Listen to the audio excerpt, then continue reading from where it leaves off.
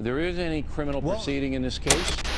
Of the NSA spying program since Edward Snowden's revelation.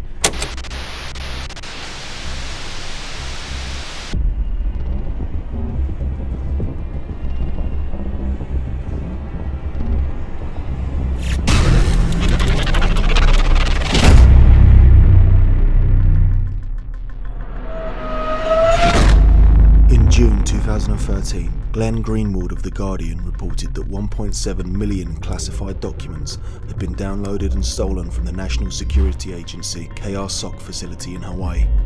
Pentagon estimated that this was the biggest theft of US secrets in the history of the United States. The NSA was not breached from the outside, but from the inside by a cyber strategist working as a contractor for Booz Allen Hamilton. What kind of documents were stolen? Reports and files proving the existence of the surveillance program, PRISM. A tool used by the NSA to collect metadata and content from the biggest online services around.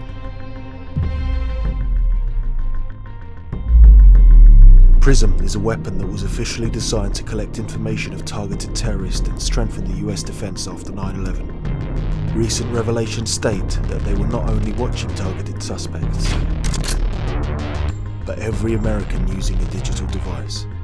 Reports have even stated that international espionage, foreign military, and political intelligence collection was done on a regular basis.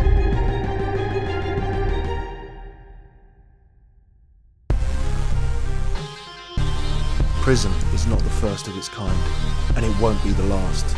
Classified mass surveillance programs are constantly being developed and improved worldwide.